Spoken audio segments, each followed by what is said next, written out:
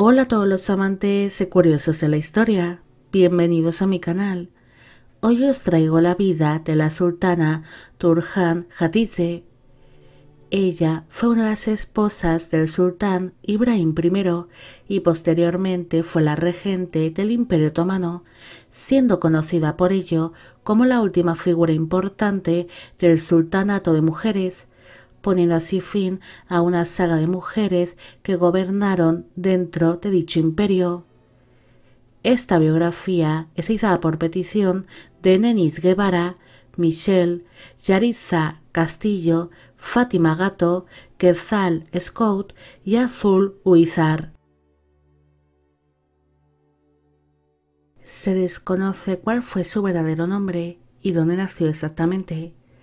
Se cree que pudo haber nacido alrededor del año 1627 en alguna parte de la desaparecida región de Rutenia, la cual estaría compuesta actualmente por algunas zonas de Ucrania, Rusia y Bielorrusia. Según algunos escritos, ella pudo ser la hija de una familia de campesinos que se encontraban asentados en tierras ucranianas y que habría sido capturada por los tártaros cuando era tan solo una niña, cuando estos se encuentran arrasando con las poblaciones de la península de Crimea, siendo posteriormente llevada hasta el Imperio Otomano para ser vendida en el mercado de esclavos junto a uno de sus hermanos. Con tan solo 12 años de edad, ella fue comprada para formar parte del harén del sultán en el palacio de Tokapi. En un principio, ella sería destinada a servir a las concubinas de mayor rango, pero un tiempo después captó la atención de la valide sultán, Kosen, la cual le entregaría el nombre de Turhan Hatice. La muchacha fue enviada junto a la sultana Kite, hija del fallecido sultán Ahmed I. Esta la entregaría una buena educación y después fue entregada por orden de la valide sultán Kosen a su hijo el sultán Ibrahim I, convirtiéndose así en su concubina. Para entonces Turhan tan solo tenía 14 años de edad y era descrita como una muchacha de notable belleza, inteligente, alta, delgada, de piel blanquecina, de cabello castaño claro y de vistosos ojos azules. Dicen que el sultán Ibrahim, que por aquel entonces tenía 26 años de edad, quedó encantado con su concubina y pronto empezó a intimar con ésta, quedándose la joven rápidamente embarazada. El 2 de enero de 1642, Turhan alumbró a su primer hijo, un niño que se llamó Mehmed, el futuro sultán Mehmed IV. Al poco de alumbrar a este niño, el sultán le entregó el título de Haseki, convirtiéndose así en la cuarta de sus ocho esposas, aunque ella no sería su esposa principal. Para el nacimiento de su primer hijo, el sultán Ibrahim ya mostraba tener ciertos problemas mentales, viéndose afectado por una serie de severas depresiones, de continuos estados de nervios y de fatiga crónica. Es por ello que muchas personas pensaban que el sultán no iba a ocupar el trono otomano por mucho tiempo. Turhan había alumbrado al heredero del sultán, así que empezó a gozar de una posición muy privilegiada dentro del harén y contaba con el favor del gobernante, aunque su posición también estaba pendiente de un hilo debido a que tenía mucha competencia. El sultán tenía más esposas y concubinas que le iban dando hijos, así que tenía que pelear porque su hijo siguiese siendo el heredero del trono otomano y ella convertirse así en la madre del futuro sultán. Turhan se convirtió en una mujer muy celosa y siguió de cerca cada uno de los pasos de Sultán. Incluso controlaba con cuáles de las mujeres del harén intimaba y cuando éstas se quedaban embarazadas. Pero esto era muy estresante para ella, ya que había muchas mujeres dentro del harén y en cualquier momento alguna de estas podría ocupar su posición. Poco después de alumbrar a su heredero, Turhan paseaba por el harén con su hijo en brazos cuando sorprendió al sultán hablando animadamente con una de sus concubinas, Zafire, la cual se mostraba muy cercana con el gobernante. Durante la conversación, el sultán le mostró algo de afecto al hijo que tenía en común con la concubina. Aquella situación molestó muchísimo a la cuarta esposa del gobernante, y en cuanto se marchó la concubina, Turhan se acercó a Ibrahim y le recriminó su comportamiento, mostrándose como una mujer muy celosa, iniciándose así una gran discusión entre ambos, donde el sultán la dio a entender de que el único hombre que debería amar y regañar era el hijo que tenían en común. En aquel lugar había una piscina donde se bañaban las mujeres del harén y era una zona de recreo, así que durante la gran discusión Ibrahim se vería afectado por uno de sus ataques de nervios y le arrebató a su cuarta esposa al hijo que ésta llevaba en brazos, lanzándose a su heredero a la piscina. Aunque antes de caer al agua, el niño se dio un golpe en la cabeza contra el suelo. Turhan empezó a gritar al ver cómo su hijo se hundía en el agua, y uno de los eunucos del harén se lanzó por el pequeño príncipe, salvándole así la vida. Aunque el futuro Mehmed IV luciría de por vida una fea cicatriz en la frente a causa de aquel golpe. A los pocos meses de alumbrar a su primer hijo, la figura de Turhan quedó en un segundo plano y perdió parte del favor del sultán. Ibrahim mostraba más atención a otra de sus esposas, una mujer llamada Salija Tilasuf, la cual se convirtió en su gran favorita por algún tiempo, además de que le dio al gobernante otro hijo varón que se llamó Solimán, el futuro Solimán II. Turhan se había quedado embarazada de nuevo al poco de alumbrar a su primer hijo, naciendo hacia finales del año 1642 una niña que se llamó Jefgerhan, aunque el nacimiento de esta niña fue una gran desilusión para ella, porque si hubiese alumbrado a otro hijo varón podría haber captado de nuevo la atención del sultán. Pese a no gozar apenas con el favor de su marido, la Haseki volvió a quedarse embarazada en uno de los pocos encuentros íntimos que mantenía con el sultán, alumbrando a un niño que se llamó Ahmed en el año 1643. El nacimiento de este niño ocasionó que ella volviese a gozar temporalmente con la atención del sultán y de una nueva posición dentro del harén. La cuarta esposa del sultán pronto volvería a permanecer en un segundo plano, odiando a todas y a cada una de las esposas, concubinas e hijos que iba teniendo el sultán. Su figura volvió a caer en desgracia porque supuestamente en el año 1645 alumbró una hija que se llamó Beijan, aunque algunos historiadores realmente dudan si esta niña era suya, aunque sí que constancia de que para aquel entonces murió su hijo Ahmed, esto ocasionaría que perdiese completamente el favor del sultán, siendo tan solo una mujer más dentro de su harén.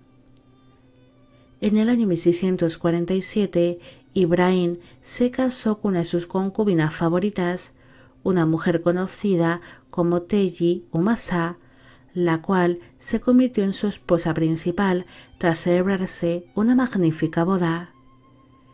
Se dice que el sultán perdió completamente la cabeza por esta mujer, entregándola palacios, joyas y riquezas, además de que ordenó que algunas de las familiares del gobernante se convirtiesen en las sirvientas de su esposa principal, siendo esto considerado como una gran humillación para las hermanas y las sobrinas del sultán. Teji Umasa tomó por completo el control del harén y tuvo mucho que ver con que la madre de su marido, la valide sultán Kosem, fuese expulsa de palacio, ya que ésta era la mujer más poderosa del imperio otomano y ejerció un gran control sobre la vida de su hijo. La expulsión de Kosem tan solo agilizó la caída del gobernante.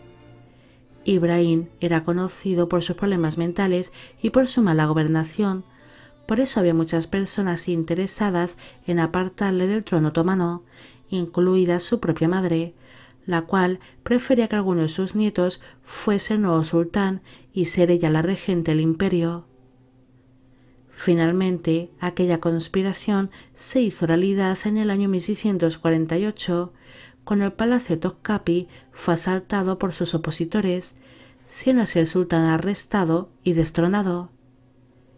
En el momento del asalto del palacio, Turhan temió por su vida y por la de su hijo Mehmed, así que se encerró en su propia habitación y tan solo salió cuando le prometieron que nadie le haría daño ni a ella ni a su hijo, es más, se tenía la intención de que Mehmed se convirtiese en el nuevo sultán.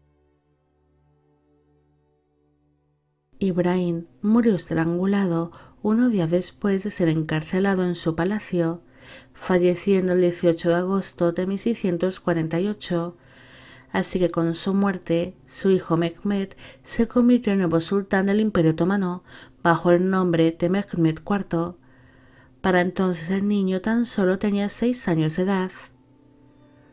Una vez sentado su hijo en el trono otomano, Turhan se convirtió en valide sultán por ser la madre del nuevo gobernante, pero ella era considerado demasiado joven e inexperta para ser la regente de un imperio. Tan solo tenía 21 años de edad y no tenía conocimientos sobre política. Así que su suegra, la sultana Kosen, volvió a convertirse en la regente del imperio, ya que ésta tenía una gran experiencia como gobernante. Para diferenciar a ambas mujeres, Kosen empezó a ser llamada Biuk Bali de Sultán, que sería algo así como Reina Madre Mayor, y Turhan sería nombrada Kuchuk Bali de Sultán, que sería algo así como Pequeña Reina Madre. Turhan era una mujer muy ambiciosa que no estaba dispuesta a dejar la regencia de su hijo entre las manos de su suegra, ahora que al fin su vástago se había convertido en sultán del imperio otomano. Así que empezó a conspirar contra Kosen para apartarla de la gobernación. Rápidamente en el imperio se formaron dos bandos. Turhan empezó a ser apoyada por el harén, los eunucos y por el gran visir, mientras que Kosen recibió el apoyo del pueblo y de los genízaros, los cuales eran como la Guardia Imperial. El conflicto entre ambas mujeres por la gobernación ocasionó que Kosen pensase en asesinar a su nieto, el sultán Mehmed IV, y poner en su lugar a otro de sus nietos que fuese hijo de alguna de sus nueras más sumisas. Así que se organizó una conspiración para envenenar al pequeño sultán, pero gracias a una de las esclavas de la sultana Kosen, Turhan se enteró de aquel plan y logró evitar que su hijo fuese envenenado. Según iban pasando los días, Kosen empezó a perder muchos partidarios, mientras que Turhan empezó a ganar un gran poder dentro del palacio. Esto ocasionaría que la sultana Kosen finalmente acabase siendo asesinada por orden de su nuera el 2 de septiembre de 1651. Se piensa que la regente fue estrangulada a manos del jefe de los eunucos del harén, que era uno de los mayores partidarios de Turhan, sirviéndose una cortina o del propio pelo de la regente para estrangularla.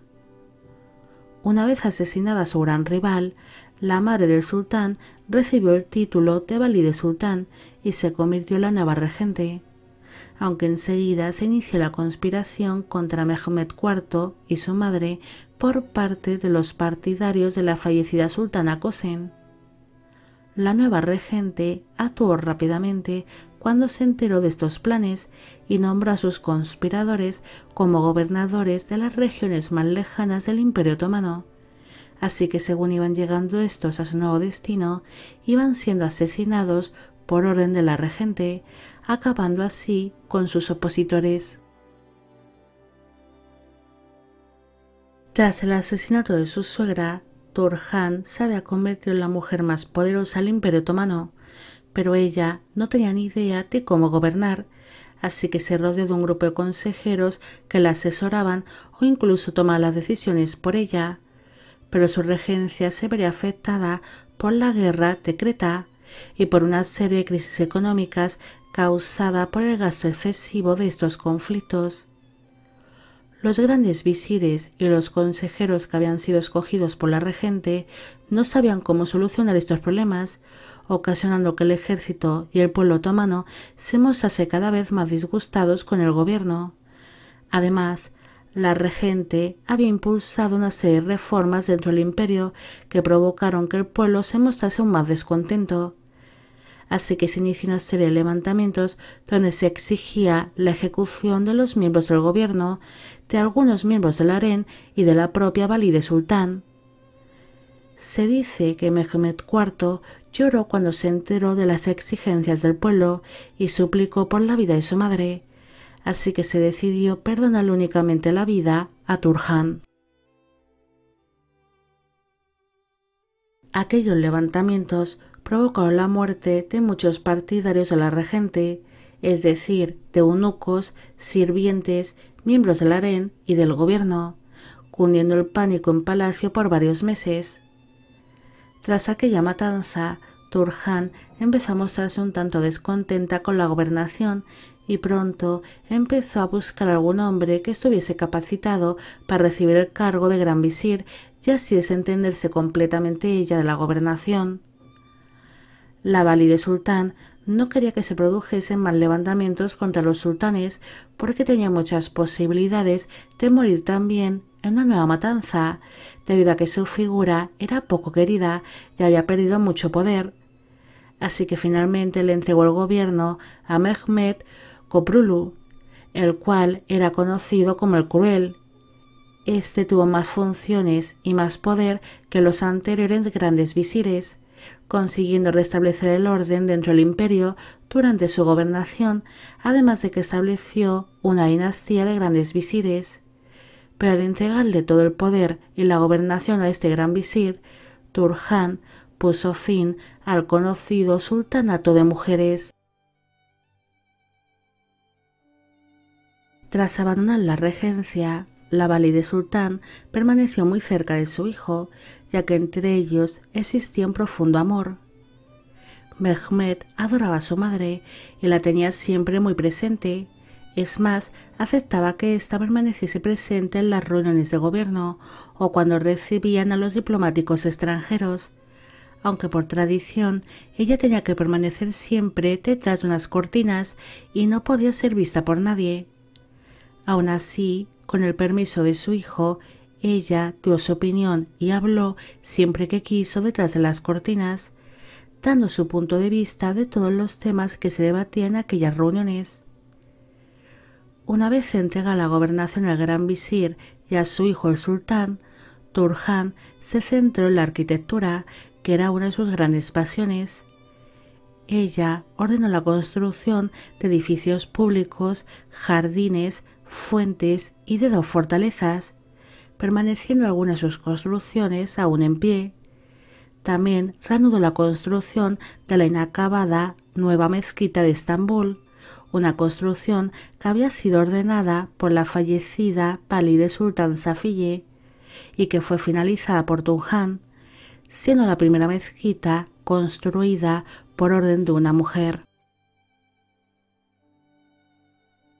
La finalización de la mezquita nueva aumentó la popularidad de Turhan, llegando a ser bastante apreciada por el pueblo otomano, debido a que aquella mezquita simbolizaba el poder del imperio, además de que poseía zonas destinadas a rezo y mausoleos, aparte de una escuela, paños públicos, mercado y jardines para disfrutar del pueblo.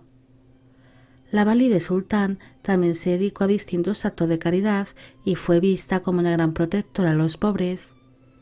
Ella también ordenó la construcción de otras pequeñas mezquitas a las cuales donó libros y riquezas, ya que en dichos lugares se impartían clases a los niños y eran usadas como escuelas, fomentando así la cultura y la educación del pueblo otomano. Se cree que Turhan falleció el 5 de julio de 1683 a los 56 años de edad y sus restos mortales fueron enterrados en su propio mausoleo de la Mezquita Nueva, en Estambul, en Turquía.